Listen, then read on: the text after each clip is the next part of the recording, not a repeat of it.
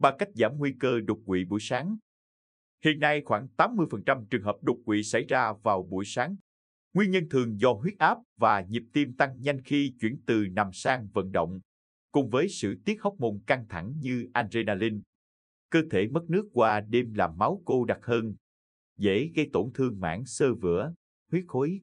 Lượng nitric oxide, NO, thấp vào sáng sớm, gây co mạch cũng góp phần tăng nguy cơ đột quỵ. Dưới đây là ba động tác hay thói quen đơn giản có thể giúp cơ thể ổn định hơn, giảm đột quỵ sau khi thức dậy. 1. Nằm thư giãn 3 đến 5 phút trước khi rời khỏi giường, giúp não bộ tỉnh táo để kiểm soát tất cả bộ phận của cơ thể. Hoạt động này giúp tránh được nhiều nguy cơ gây nguy hiểm cho sức khỏe như tăng huyết áp, ngã do không tỉnh táo. Người mắc bệnh tim mạch và mạch máu não không nên bật dậy sau khi thức giấc vì dễ khiến huyết áp tăng đột ngột. Khả năng đột quỵ cao. 2. Uống một ly nước ấm sẽ giúp làm ấm cơ thể, máu lưu thông dễ hơn.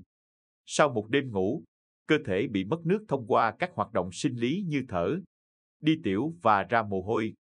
Vào buổi sáng, khi độ nhớt trong máu của cơ thể con người cao nhất, uống nước ấm kịp thời góp phần làm giảm mất nước, tránh tăng huyết áp. 3. Có duỗi Vận động nhẹ để làm ấm cơ thể thông qua các bài tập như vận động tay chân, yoga, thiền, đi bộ để tỉnh táo, tránh mệt mỏi, uể oải sau khi ngủ dậy. Các bài tập này còn giúp tăng tuần hoàn máu, giảm huyết áp, cải thiện chức năng tim mạch, duy trì trọng lượng cơ thể hợp lý, tăng mức nitric oxit, NO. Hoạt động cũng có tác dụng giãn mạch và cải thiện lưu thông máu, từ đó góp phần giảm nguy cơ hình thành cục máu đông, các yếu tố gây đột quỵ. Mơ sạch đầu, cổ, vài gáy có tác dụng giảm căng thẳng, lo âu, đau nhức cơ bắp. Hành động này có thể tuần hoàn máu, bớt đau đầu và cải thiện giấc ngủ. Mưa xanh cũng góp phần tăng cường hệ miễn dịch, giảm triệu chứng các bệnh mạng tính.